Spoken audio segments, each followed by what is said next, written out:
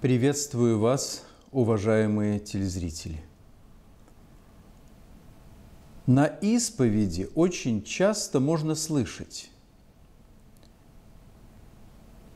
«Да не грешный, не грешная я, ведь никого не убил, никого не убила, не грешная я».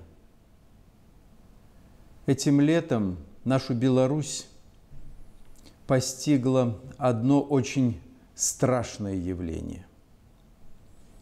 Многие люди были шокированы. Некоторые душевно надломились. Есть травмы и смерти. Это явление в современном языке носит на английское название буллинг или кибербуллинг, а по-русски травля, интернет-травля – с этой проблемой мир столкнулся сразу, как только дети получили смартфоны с выходом в интернет. О подростковой забаве забили тревогу после ряда самоубийств. А в 2019 году даже Ватикан был намерен создать международную наблюдательную службу по гибербуллингу.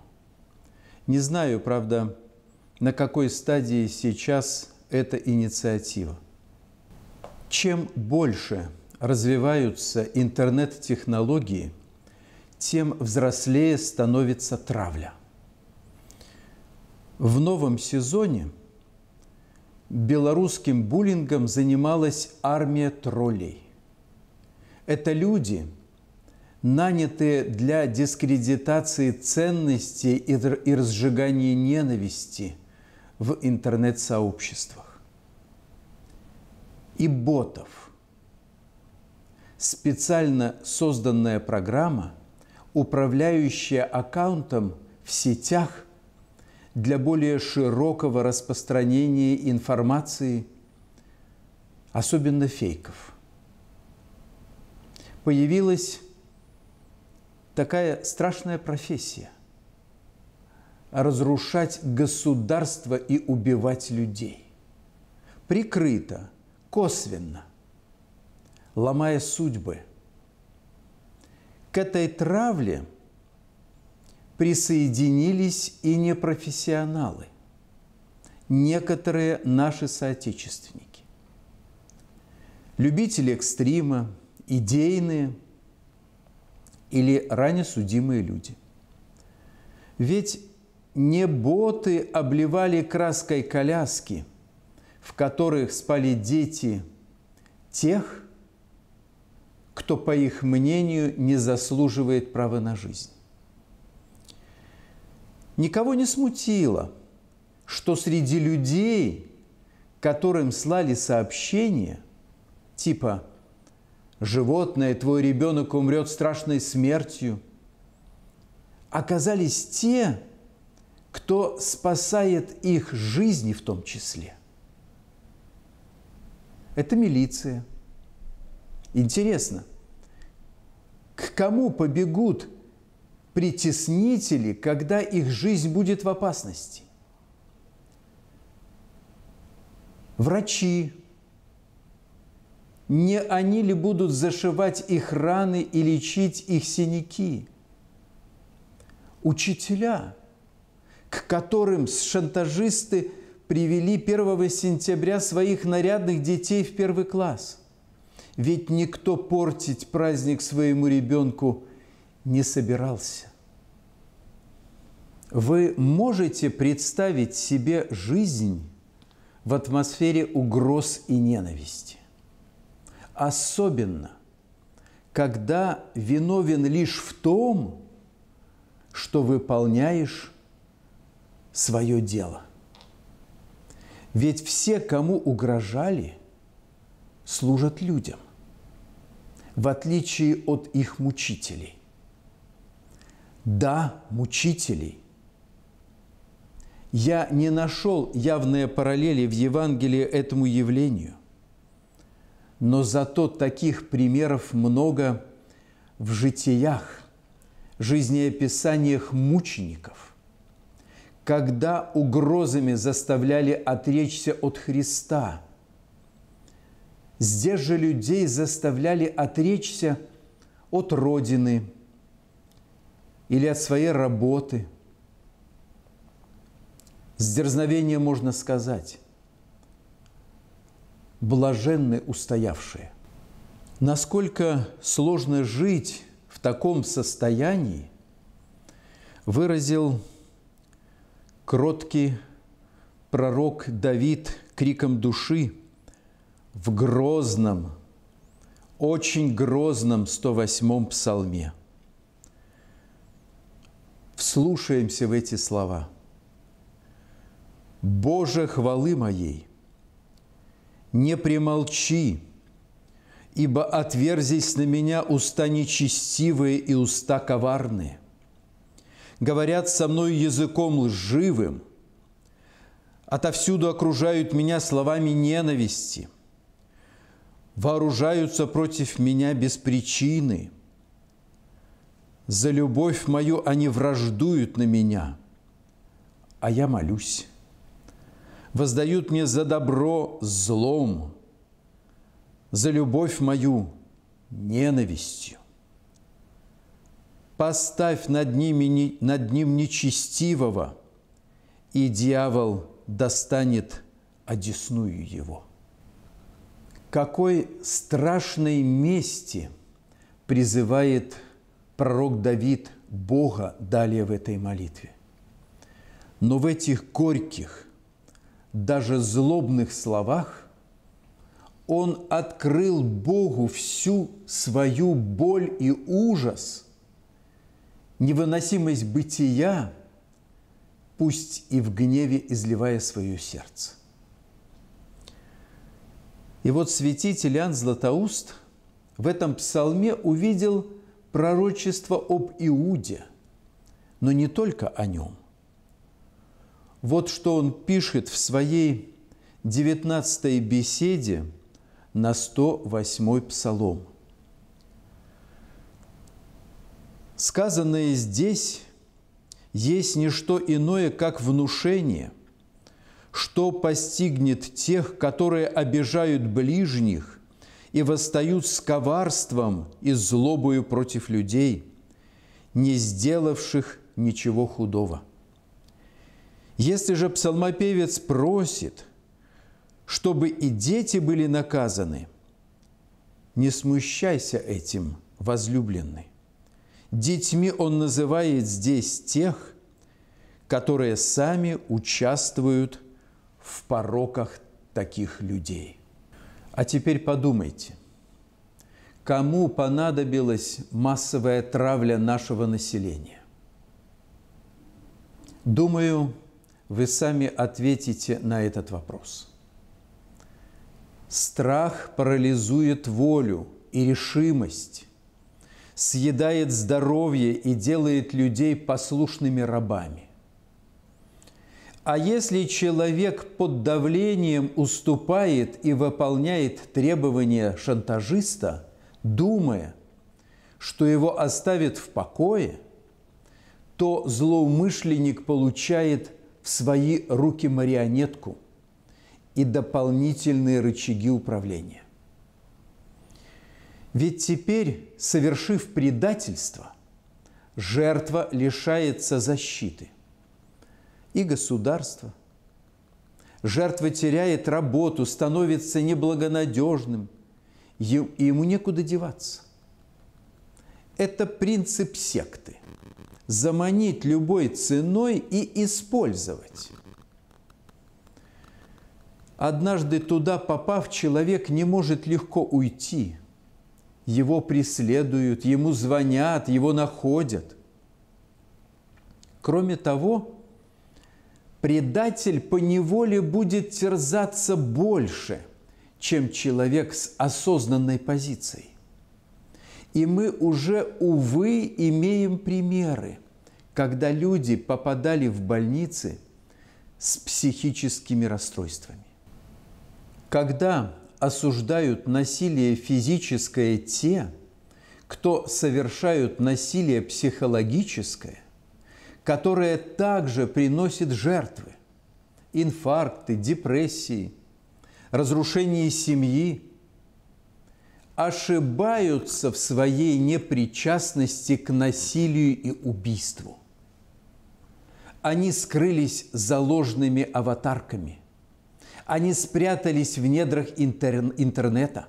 Но от неумолимости причинно-следственной связи духовного закона никто еще не ушел и не уйдет. Только искреннее покаяние и молитва помогают разорвать причинно-следственную цепь.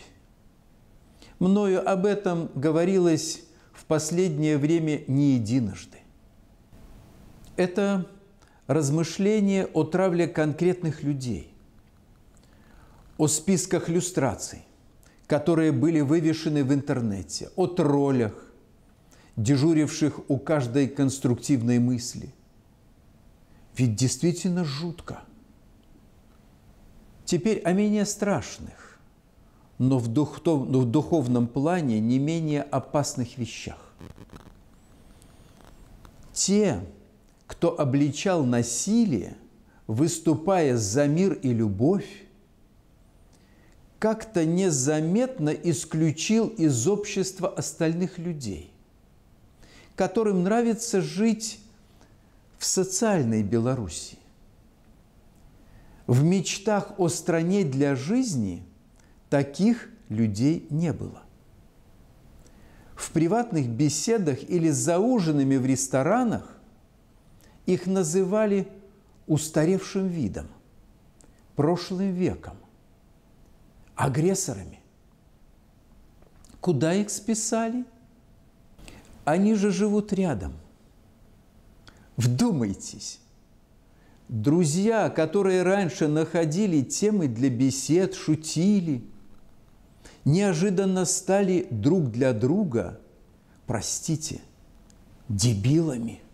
То есть разнузданность троллей в интернете породила ощущение вседозволенности у нормальных людей – и те споры, которые раньше проходили в уважительном тоне, вдруг зазвучали со злобой и ненавистью.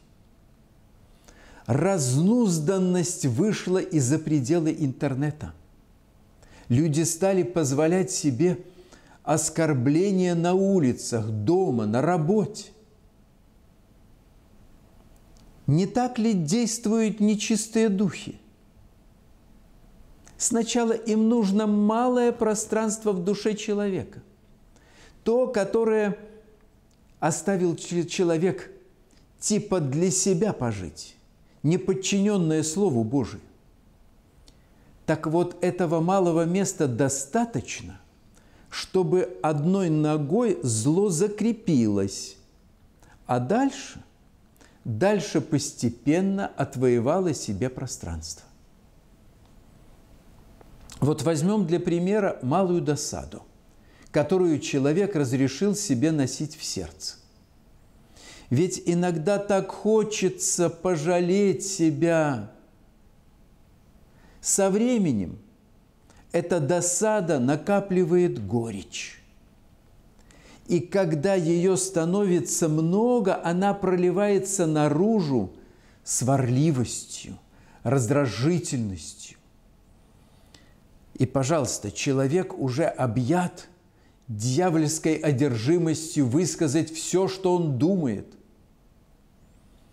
Такой человек, даже осеняя себя крестом, забыл о заповедях. Он считает себя настолько обиженным, что восстает на само, на само Слово Божие, которое не позволяет ему обижаться. Недаром интернет-тролли назвали троллями созвучно враждебным великанам из скандинавской мифологии. Они ровно по этой схеме сделали свое грязное дело. Пожалуй, предложу еще один ракурс заповеди «Не убий», за который, за который меня, в меня полетят слова критики, потому что на эту тему, ох, как никому не, никогда не нравилось рассуждать, тем более говорить. Благородные красавицы, которые вышли на защиту в защиту мира и против насилия. Спросили ли себя, откуда берется 20 тысяч нерожденных младенцев каждый год? Для сравнения, в этом году в вузы поступило тоже около 20 тысяч студентов. Или это не считается насилием? Ведь невин, не видно до сих пор таких длинных цепей солидарности в поддержку права человека на рождение. Зато есть видео о том, что женщины не инкубаторы и сами распоряжаются своей судьбой, а заодно и жизнью своих детей.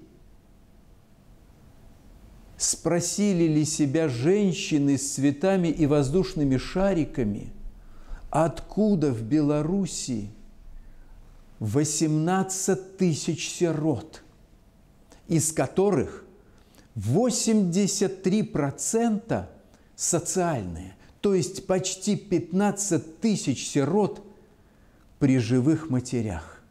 И не нужно, простите, княвать, что о них не заботилось или не заботится государство. Задумались ли они ведя своих дочерей на бунт. А ведь они знали, что это бунт. Не убивают ли они в своих детях целомудрие и духовную красоту? Еще наивную и трепетную любовь к родине, к той, в которой проходит их детство, а не, к, а не к той стране, которую выдумали их родители. Возможно, кто-то сохраняя в себе искорку веру, вспомнит, что Деница, один из самых светозарных ангелов, устроил бунт против Божьего Слова. В итоге он лишился своей светозарности, стал князем тьмы, отцом лжи, самоубийцей и убийцей душ человеческих. Вот такая интересная шестая заповедь. Не убей. Ведь из нас никто не грешит против нее. Правда?